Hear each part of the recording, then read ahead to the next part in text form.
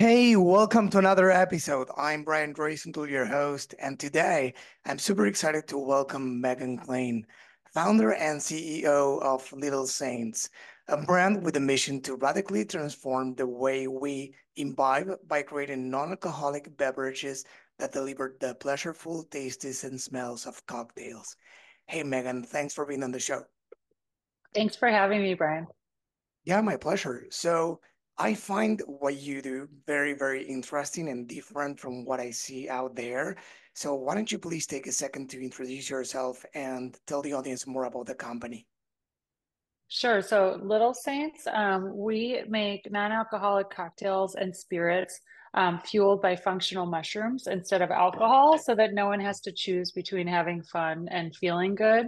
Um, I created Little Saints during the pandemic. I had um, you know, I'm a not a teetotaler. Like I love cocktails. I um, you know, I pre-pandemic I was going out for work drinks or social drinks five nights a week. Loved it. Love cocktail culture. Love bartenders. But during the pandemic, I really realized like, wow, this makes me feel terrible. Like my brain feels foggy. Um, you know, we're all entrepreneurs. I was like, I'm just not performing at 100%. My skin looks awful. And so I wanted to just create something that was better than alcohol. It wasn't like a, I'm not going to drink anymore. Like drinking's a bad thing. It was just like I wanted to have a non alcoholic alternative. I tried everything out there on the market, like all the marketers would do. I bought everything.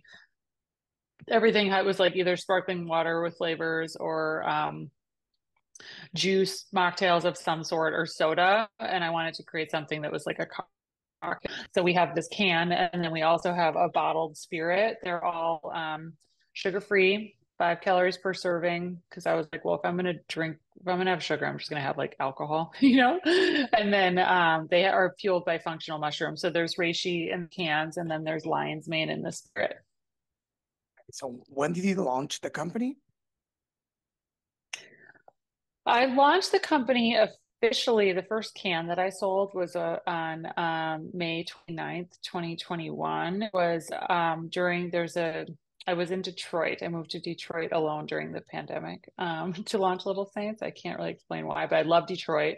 I there's a techno festival called Movement in Detroit, and I have a little mint green fending trailer that I took and I parked in front of this amazing nightclub there called Spike Spotlight, and we sold Little Saints like out of the trailer. That was my first um, day, but that summer was like really crazy supply chain issues, and I couldn't get cans made that I liked, so. I had these ugly tall boy cans that I sold out of the trailer. And then I didn't build nice cans that you see until like October. So we actually launched our website November 2021. So we're about two and a half, three years old. Okay. So you started, please correct me if I'm wrong in any case. You started with wholesale, is that correct? Not so no, sorry, not sort of yeah, right. Yeah, I so I really started with like events sales and marketing like out of the trailer. And then when I really started, I did have the website up, but that was only doing like, I don't know, 10,000 a month in sales. And then because my background is in, um, like I, so I had, I founded a refrigerated dip and dressing business. So like we were selling like it's called Field and Farmer and it's like refrigerated dressings that are sold at Whole Foods, for example. And so I was very I am familiar very familiar with like wholesale distribution and how that works and like how to make that work. And that's so that's what I was going to do with Little Saints. I launched with a major alcohol distributor in California. You know, they were trying to grow their non-alc program and I hired an expensive salesperson there and like, you know, I thought we were doing the right thing and it just we could not there was a big disconnect in between like the end use customer like you and me that wanted to have a non-alcoholic drink on shelf or on a bar menu and like the whole distribution network which includes like the distributors the trucks the decision makers at the bars who aren't who weren't really familiar with it at the time so it was painful i mean we delivered one big PO. They didn't reorder. I had to buy the inventory back. We sold through maybe a third of it. And right. so and that- then that was all of 2022, which was like a bloodbath. Like we did, I don't know, we did about 500,000 in sales and we lost like 1.2 million or something. And I was self funding it and like my family had invested too at the point. So it was just like miserable. And, um, I was super upset because I'm I have a Kellogg MBA. I've run a company before. I was like, how the hell did I do this? Like, what is going wrong? You know, and I was just putting money into all the wrong things that were not having an ROI. So then um in the end of 2022, I met like who is now my amazing CMO, Katie, and we were like, "There's nothing that we're doing is making any sense. Like we have all these experts. I had like very seasoned people on the team telling us what to do, and like nothing was working. So we just like fired everyone and um, just decided we were going to pivot and become a D2C company in 2023. And then like you know, the first half of 2023, the first ads we did was for like dry January 2023. So like we definitely had a lot to learn uh, in terms of like ad content and working. We had never, I had never even worked with like a digital ads buyer before. Um, so our return on ad spend was not that great for the first six months months of the year, and our burn was pretty high.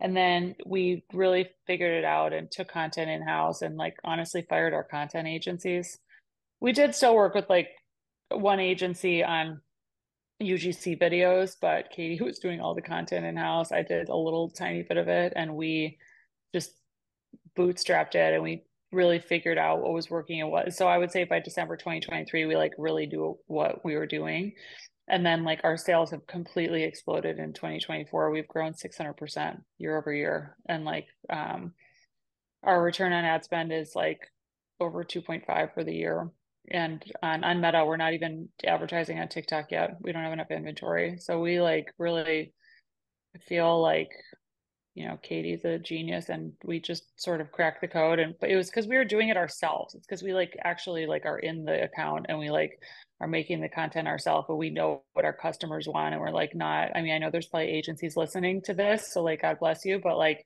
I feel like there's a lot of disconnect sometimes when you're working with an agency that's like just putting you into their queue and like doing whatever they do that's like not as customized to your customers and to your brand as you need it to be and so i feel like we really figured out like a good niche for ourselves.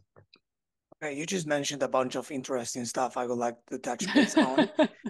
So i'm trying to prioritize sorry that was a lot Brian. first.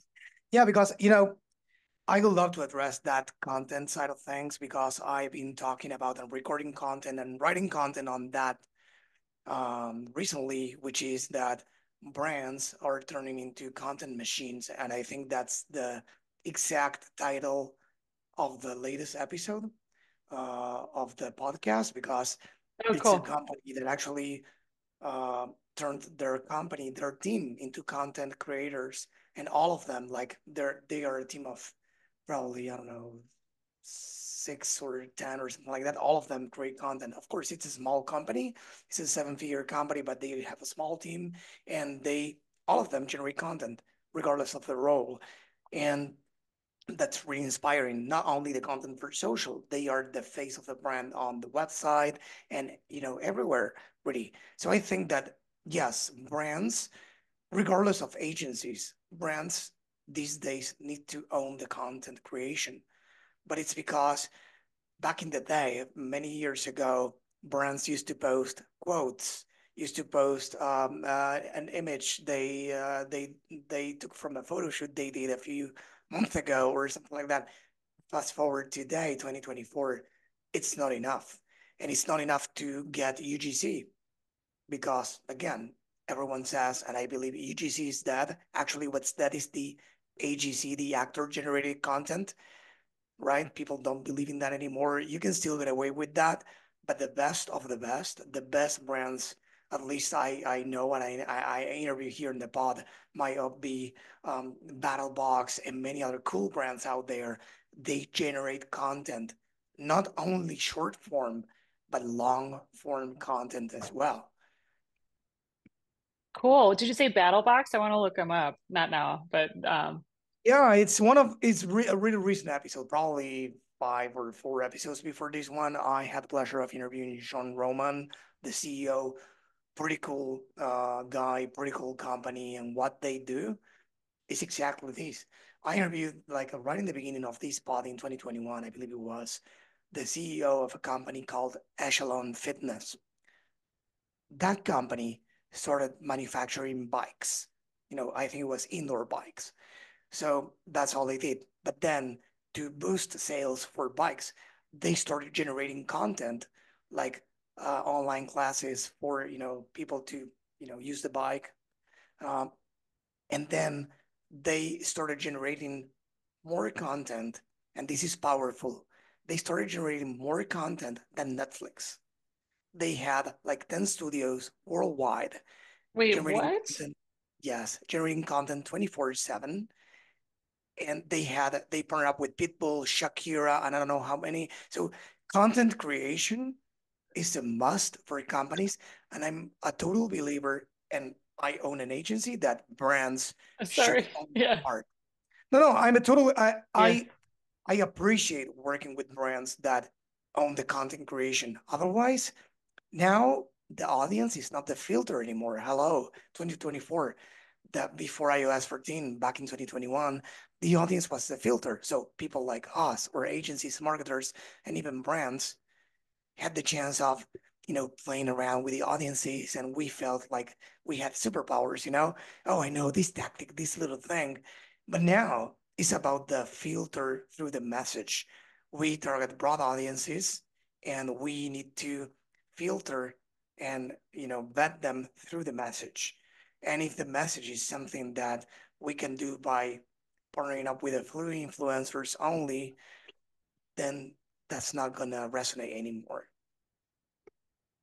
Yeah, no, thank you. I I totally agree. It's interesting. Like we, yeah, we've gone through a very similar journey. UGC recently stopped working for us. Um, really, what's working for us right now is the founder assets. And so I'm like, I don't actually personally like I do. I don't love. I mean, I love like I'm like passionate about the company, but actually putting the phone in the right place and having to do it, I'm like ah, like I, the doing the founder stuff feels so silly to me sometimes, but it's working the best. And I don't know if you've seen, but we actually are most so like i'm sure you've seen this like organic social media is doing nothing so we were like literally no no people are seeing our pretty photographs and we know we need those on our instagram for example to like you know when people look at the brand like oh, okay is this brand cool but we actually started doing me and katie my cmo we're also like good friends we started like we were like all right we're going to do something ridiculous and like one of the things that people are always asking about is like what does reishi mushroom do? What does lion's mane feel like? Like, what does Damiana feel like? So we created characters out of the um, ingredients. Like Damiana is like a PR executive and a sex coach, and like reishi mushrooms, like this kind of like two cool girl, like yoga LA, because reishi mushrooms really chill. Lion's Mane is like kind of like a I love Andrew Huberman. I Lion's Mane is like an Andrew Huberman, like super like biohacker, like optimizer of health.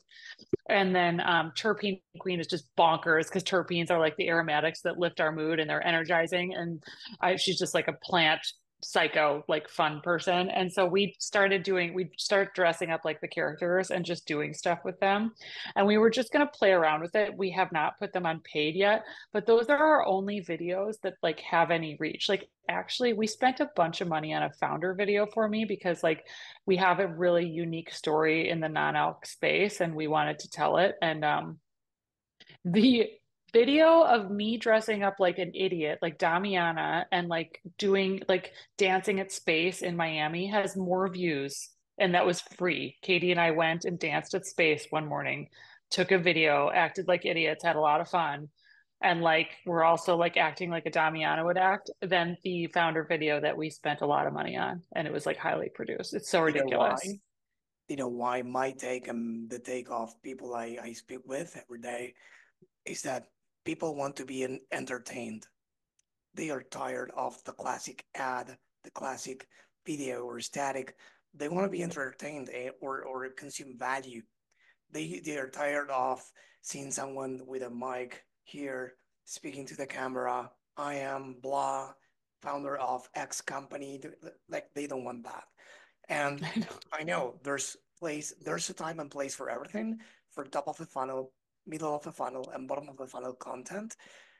But these days, organic, if you want to be all like of, if you want to make like uh, bottom of the funnel content only, it's not going to work. Like buy this stuff.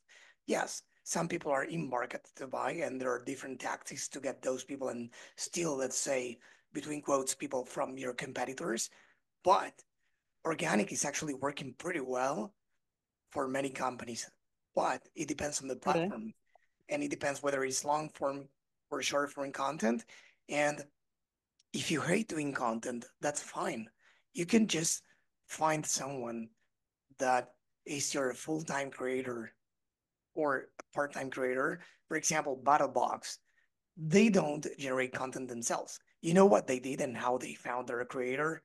They they did something that this day we all call a silly move because they call it that way too. But back then they didn't know in 2015 or something like that.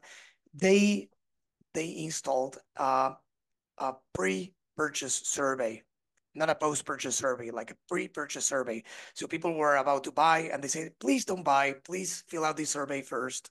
And re uh, regardless of the of the reason why they did it, that's the reason they found the creator they have today full time. They found that many people were coming from a creator to buy, so they looked they looked him up, and it turned out it was a cash paying customer. He wasn't a, like a creator looking for you know um, whatever uh, generating content as a business.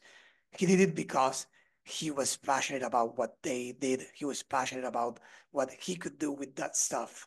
So he started generating content from a genuine place. And they said, okay, keep doing that. We'll give you, I don't know, 500 bucks. And then they said, oh, keep doing that. But now we'll give you, I think first they gave them free stuff, then 500 bucks.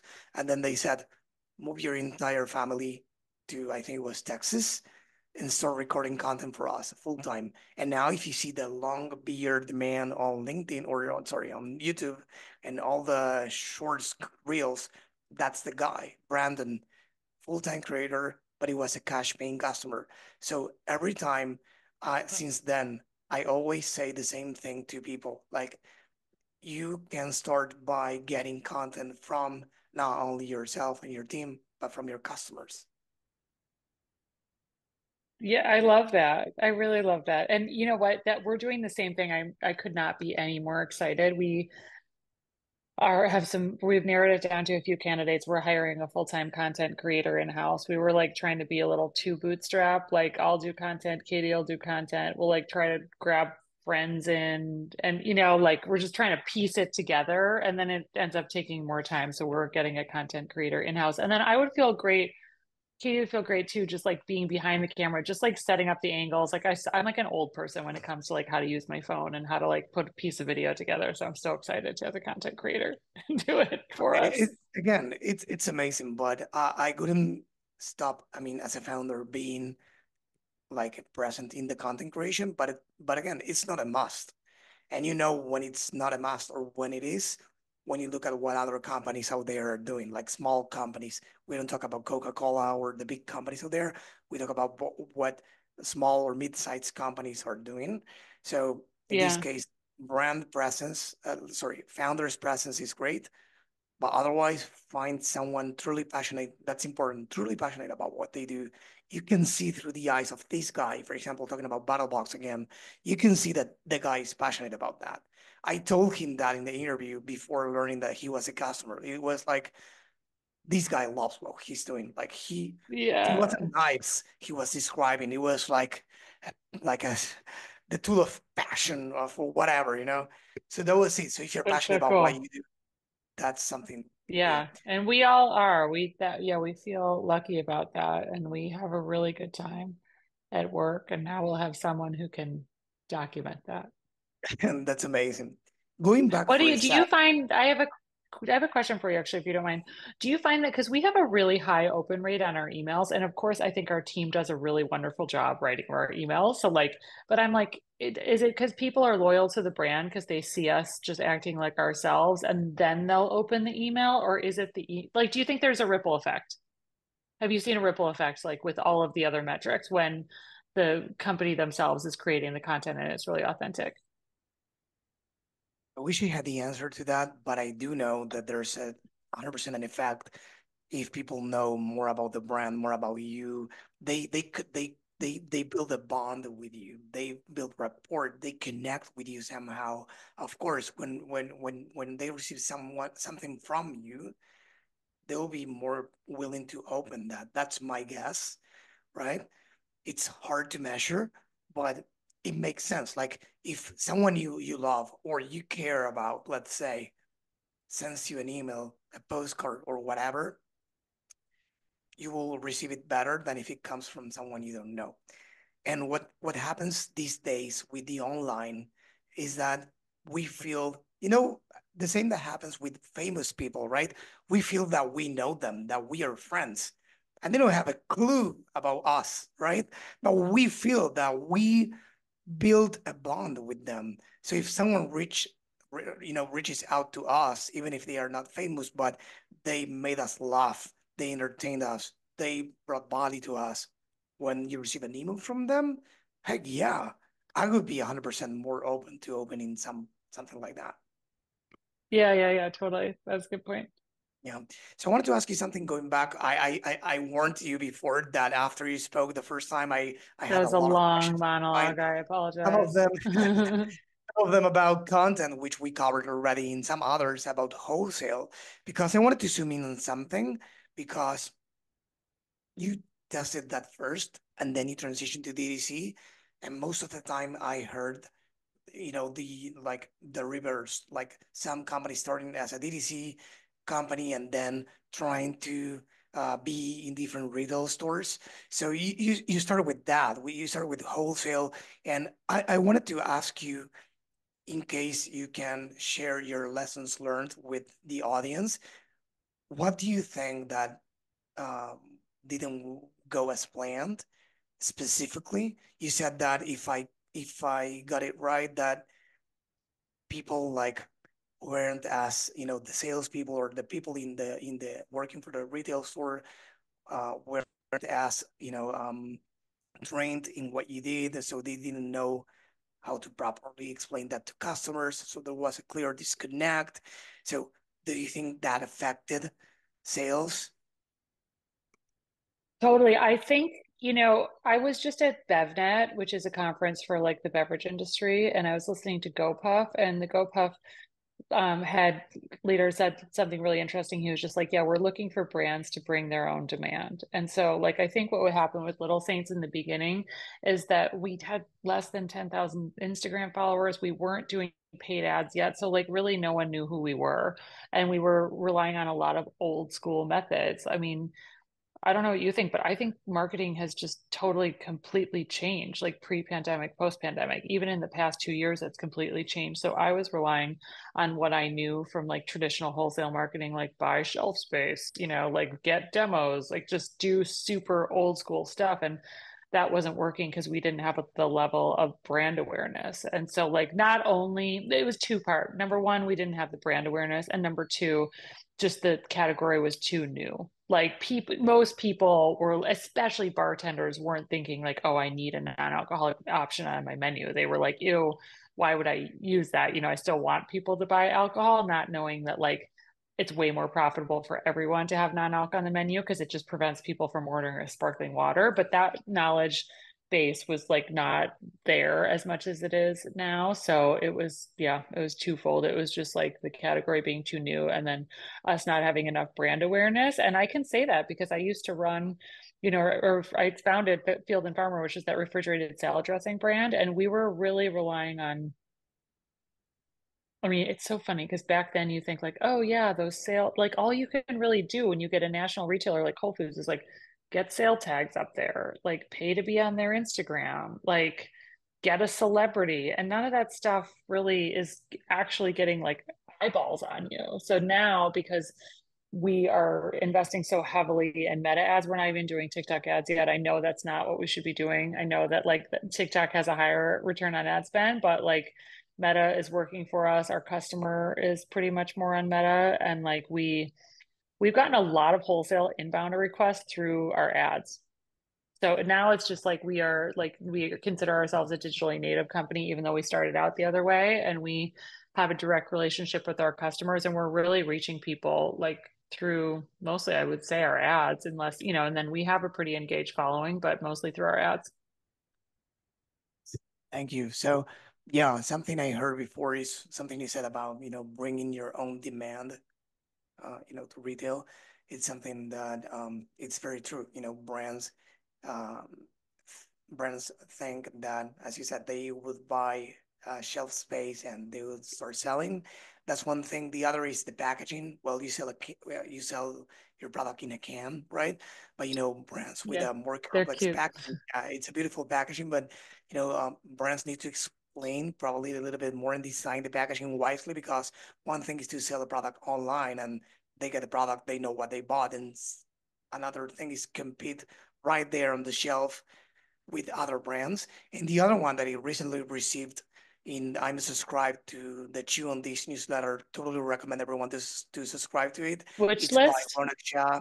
The Chew on This newsletter. Two on Uh. Okay. Chew on This is by Ronak Yeah. Shah and Ash Melwani at Obvi. I had the pleasure of interviewing him, uh, um, Ronak, in 2022, I think it was, and they they recently said that I think it was last week or this week that pricing is one thing they didn't consider when entering uh, retail because they said, hey, you know, I sell the, I don't know, they sell supplements, you know, at, I don't know, uh, $30. But hey, in retail, probably that's too expensive. And people don't know who I am there. So probably I shouldn't be competing at $30 there and I should probably shrink my margins or reduce my margins a little bit and decrease the price to be more competitive there and give a chance for people to get to know my product.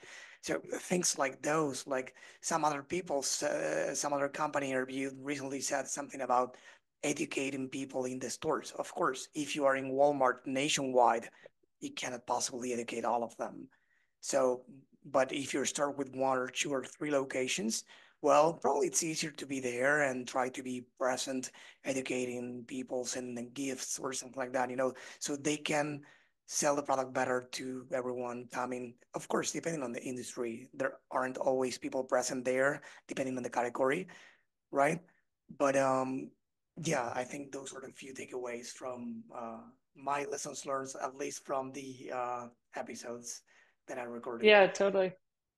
So uh, you grew after you pivoted to DTC, you grew by um, 600% year over year. So I'm curious to hear uh, about the, um, you know, what contributed to that exponential growth. So a couple of things contributed to it. The first was, you know, we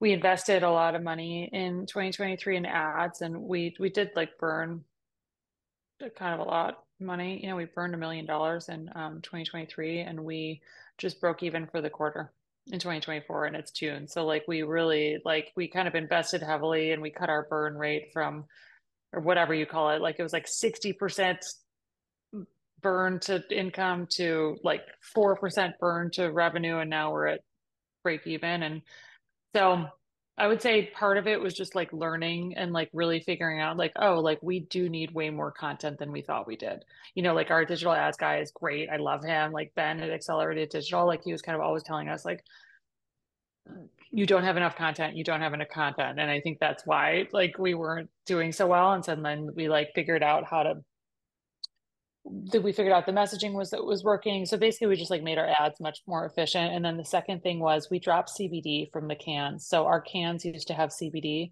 and reishi mushroom in them as the functional ingredients. And um, CBD is a pain in the ass. And like obviously, like for ads, we had to kind of do a second, like I don't even know what we were doing, a second landing page. So it wasn't like a direct click through. Yeah. And um, that went from, you know, we did 200,000 in sales in December. The first, like we went from like basically about a 100 we could not break 150,000 a month like with the CBD and then the month we took them out it, it out in like mid-December we got to $200,000 a month and then we went to 500 and then we went to 700 and it was just kind of like I know it's crazy. So I think it was just a great we were our timing was really good like we took cbd out i think every year that dry january happens dry january gets a lot of press and like everyone's kind of thinking rethinking their drinking and so like the category gets a big boost and then every year we've thought like okay maybe like dry january is going to be a huge bump and then we're going to have like a bad like after, you know, like then it's not going to go so well. But we, I mean, we only have two years of data, but like both times, like demand just keeps going up, which is incredible. Yeah, now it's summertime, so you know, I think it will keep growing, right? Yeah.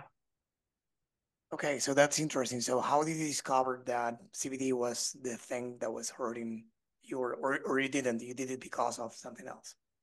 No, we were listening to people like so many of our inbound emails would be like, does this get me high? Like, am I going to fail a drug test? Right. Can I drink this if I'm pregnant? What if my kid accidentally drank this? Like, people just did not, even though there's a lot of education on CBD and THC, like our customer base did not understand it. It was much more of a hindrance. And then just, you know, we're always out. When you're a beverage founder, you always have these things like with all, so many groups of people and so many people in like, the type of people that I wanted to sell to would actually be like, actually, this is a hindrance. Like, I would love to bring it because the packaging's pretty and I love the way it tastes, but I'm embarrassed to bring CBD over to my friend's house for dinner because I don't right. think they're going to like it. And it was just this sort of taboo thing. And I had probably honestly held on to it for too long. If I could do it over again, I would have just gotten it out like in the beginning of 2023. But I was really convinced that people were going to Little Saints for the take the edge off feeling. And I thought that CBD was the only ingredient that was delivering that.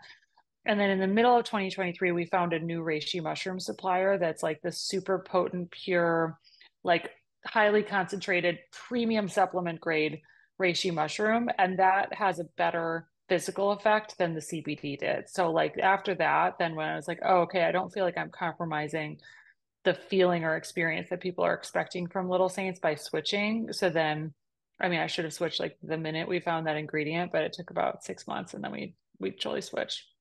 Right. Interesting. So something about you said that um about you know not making the decision sooner of you know removing CBD. There's a book I didn't read, but I want to. It's on my wish list, and somebody recently recommended it here in the pod. It's called Blink. I think it's by Malcolm Gladwell it's about, Yeah. I believe, making decisions, you know, with a blink of an eye and not double thinking stuff. And, Yeah. you know, sometimes that good, that's good. And sometimes I think it's not. And then I think that there's this other book I read, which I love, which is uh, called Atomic Habits. It's it's pretty well known in in the productivity space, and the author says something like there are decisions to be made in 30 seconds in 30 minutes and in 30 days. And he describes oh, yeah. which ones are a fit for each of them. And I love that. So it's it's it's pretty cool. Yeah, I just want to mention that. Sorry. So, Thank you. No, I love that. I've read that too. It's like if a decision is not like make or break the end of it, we'll just make it. Just like make it right away. Like there, are, I think Jeff Bezos, who I don't love, frankly, but like he does have a thing of like 98% of his decisions he just makes right away and the ones that like really like like are make or break a company you know or make or break your life then you like spend a ton of time like getting all the information that you need. But i i like that practice because it uh, it allows us to tap into our intuition which is you generally usually right right? And then we spend a lot of time like trying to gather data or facts to like validate our intuition, but it's only just because we don't trust ourselves and we're afraid something's going to go wrong. So it's exactly. generally just like so much better. Exactly. So I wanted to ask you quickly about, you know, meta ads. I know that, by the way, I just wanted to say something. Um, I, I've been speaking about these all along as well. It's meta ads for just for context for you and for everyone uh, listening or watching this it's um, the number one channel for most successful brands. You know, client, uh, channel diversification, it's a thing. It's something that all of us want because we live in a rented land, whether it's Meta, TikTok, Twitter, uh, Google, you don't know what's going to happen with your account, especially in your space, right? So we want to diversify. BattlBox says, for example, they want each channel to be tops, I think it was 16% of the revenue, more or less. But the number one channel for them and for many other successful brands is still Meta. So mm-hmm. I know that is, it, and correct me if I'm wrong again, it was a significant part of your acquisition strategy, by that, but it has been kind of unpredictable and expensive. I mean, for all of us, honestly. So how do you navigate those challenges and how do you mitigate them? Well, um, we we did stay very focused, even though we have seen like all brands, like we've seen our ROI go up and down. Like we were like, we are not going to be reactive and try to then do a whole TikTok strategy when we are not, we don't have the team for it. We don't have a content creator for it. We were like, we were just going to stick with this. So we really, um, you know, if things aren't working, we just pull back spend. We are constantly feeding our ads guy new content. Um, men have been like a really great audience for us. Like I don't think that the non-alc industry had been like paying enough attention to men. I don't even think our brand had been, which seems like ridiculous because like we in we think about our brand as like equal to men and women, you know, but in our content, we were, I suppose, just like choosing mostly women, and I'm a woman and I'm 45, so I'm like a little bit older. So, and we, what we've seen was um, that you know we're attracting the type of person that is behind the ad or it's behind the content and yeah. so like our most successful ad was just like this picture we took of our friend Nicola, who's this like really amazing bartender in New York. And he looks super New York hipster. Like he's got like a long beard. He's like got tats and stuff. And that was so both polarizing and it started to getting the dudes to buy it. I was like, oh shoot, like is that is it that easy? Like people are kind of buying from someone who they trust because they like see themselves in them some way. So we've really been um both listening to our male customers through comments and DMs and stuff, and then also like using more male talent or friends or who it's some of the people in the ads are our friends. So like we're really been um, seeing good um, some like we've been getting a boost for like being more equitable in our content. And actually i would say at this point we are like the men convert better than the women. Because I think women are just like there's so much in the we don't consider ourselves a wellness company. We consider ourselves like a badass alcohol alternative but there's so many like there's so much competition for like women in quotes in the wellness space. And so yeah I think it's been helpful for us to just think like a little bit outside of the box in terms of like making sure that we're talking to like our existing customers who love us that aren't being talked to by other brands I mean, I uh, to me at least, it makes hundred percent. I mean, it makes a lot of sense what you said about men buying when they saw other men in the ads. Yeah. We buy what we see. All of us. We sometimes are yeah. Uh, conscious about it, and sometimes we are not. But we all do. You know, you buy, or we used to buy uh, know, some uh, from some beer brands because we loved to party. So in the ads, what did we see? people in a party, having a great time, surrounded with friends, happy. So we bought the experience. We don't buy, I mean, there's something called the external benefits and the internal ones. To, to make it short, we don't buy because of the external benefits. We buy because of how that makes us feel, which is the internal thing. This is in a book called um, how, Building a Story Brand by Donald Miller, and it's something pretty cool. If you look at, if you pay attention to the chewing gum commercials, it's not about the flavor. It's about how the chewing gum makes the person in the ad feel. So this there's for example this guy that wants to approach this girl, but they feel insecure, they they they, they are shy, and all of a sudden it's like Popeye, they the chewing gum, and now they they approach the girl and they are more secure. Bad breath probably is the external problem they have. That's the, yeah. the what the what the chewing gum solves but they don't address that. They address what bad breath is preventing them from doing and how it's making them feel. So if we can do the same thing with our content, it's like, oh, this guy, you you did it yourself. You sold, you sold the guy yourself. You said, you know, this is my friend, uh, super cool bartender in New York, like a hipster style with a long beard. You just did it yourself.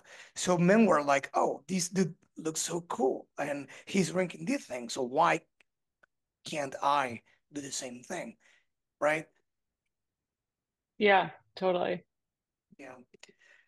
So um looking back, you mentioned that you had, you know, I mean, if, if you had to start from scratch, um, I think that you mentioned um, in the call that we did prior to this that you'd spend less money on events and sponsorships and focus more on donating products specifically. Could you please elaborate on on that?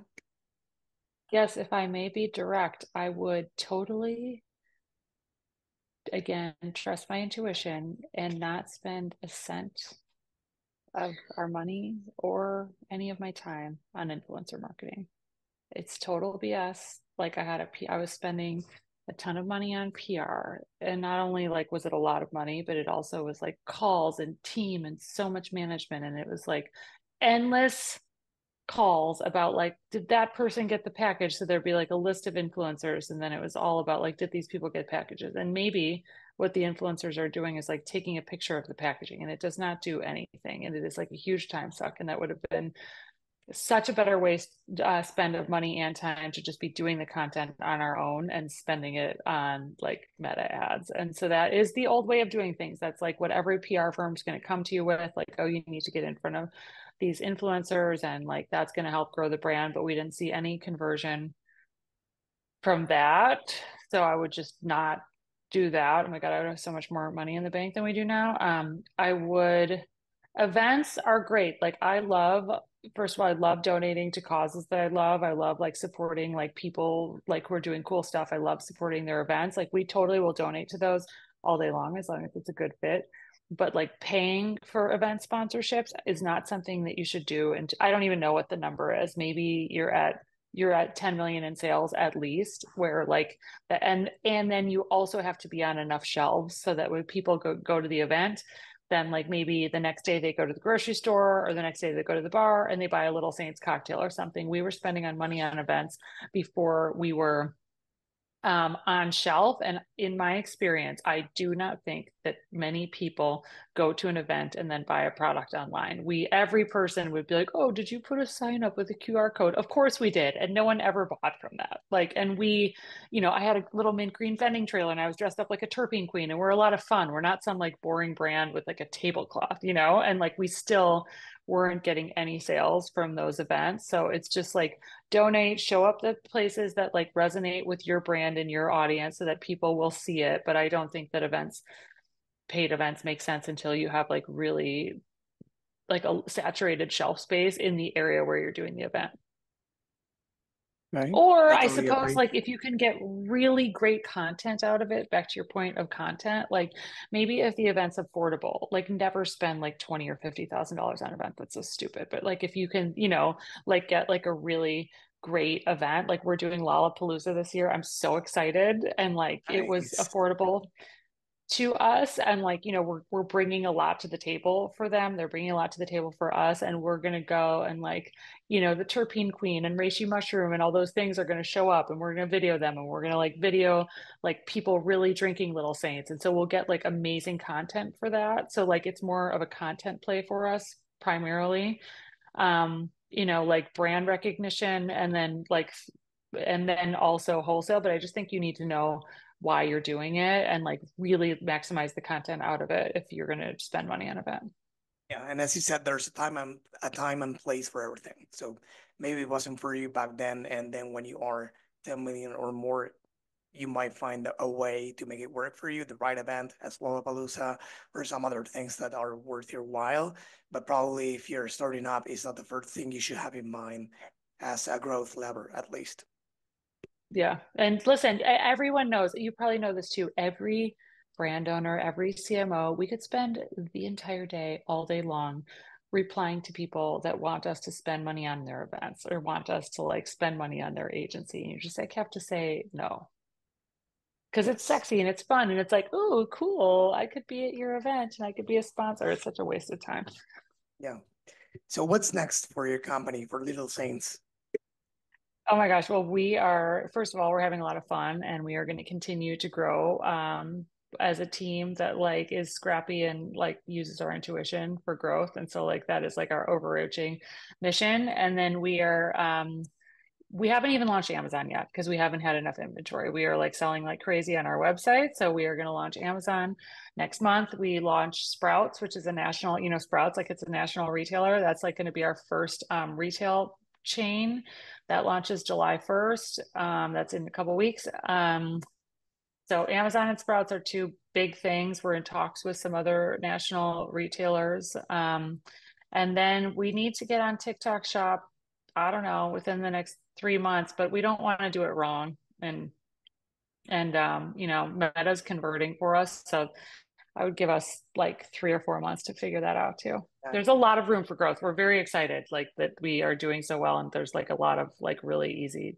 things That's to... amazing. Yeah. TikTok shops probably could spend hours talking about that too because it's not like running ads. They set it and forget it. It ads are not that way either, don't get me wrong, but it doesn't require a media buyer or the same role. It's more of if you want like a cold outreach agency within a company because you need depending on the company and the all, organic traction you get as a business you need to reach out mm-hmm. to many you know affiliates many creators and user content see what converts it's like a totally different department for a for mm. a brand some brands are finding great success with it but some of them you know they, they they are still trying to figure it out because it's really really manual it's not as you know setting TikTok ads or organic up. It's a totally different helpful. thing. So yeah, yeah, um, it's um, it's a totally different thing. But yeah. So mm-hmm. before we go, I wanted to ask you one more question, which is uh, what I call the great the um, uh, the the grateful moment, if you want, which is um, you, to give a shout out to someone you admire, you follow, uh, or I don't know, someone that has helped you in your career, former boss or a mentor, probably? Um, yeah, so who I always think about, it's like my dream to meet her is Sara Blakely of Spanx. Um, you know, I I have a Kellogg MBA. I understand the importance of data, and we do, of course, like work with data as the base of things of our company all the time. But I am really committed to trusting my intuition in business and like showing people that that's not just like a woo woo feminine thing. It's actually good business and it works. And like Sara Blakely is the only person that I know that's talked openly about that. You know, like I've I've heard her talk about how she would ask the universe for help, or like you know she she grew her business like organically by trusting her intuition. And I um you know, I, I really look up to her for like having like a kick ass, like profitable business that she sold and really staying true to that. Amazing. Before we go, please tell the audience where they can go to learn more about you and the company. Thank you. You can go to um, littlesaints.com is our website. Our Instagram is at Little Saints Co. Um, and that's the same as our Facebook and you can see the uh, Damiana Reishi characters on our Instagram. That is the, that's where they live. Amazing for everyone listening to this episode or watching it. Why not? Uh, unless you are already there, please go to the DTCinsider.com, click on the episode name, and you will see in the show notes everything that she mentioned, including the website, the Instagram, and the, all the all the fan characters that will be there waiting for you. So this was amazing, uh, amazing, Megan. Uh, thank you for your time and for all the value you brought to the table today. Thank you so much for having me. I really enjoyed our conversation.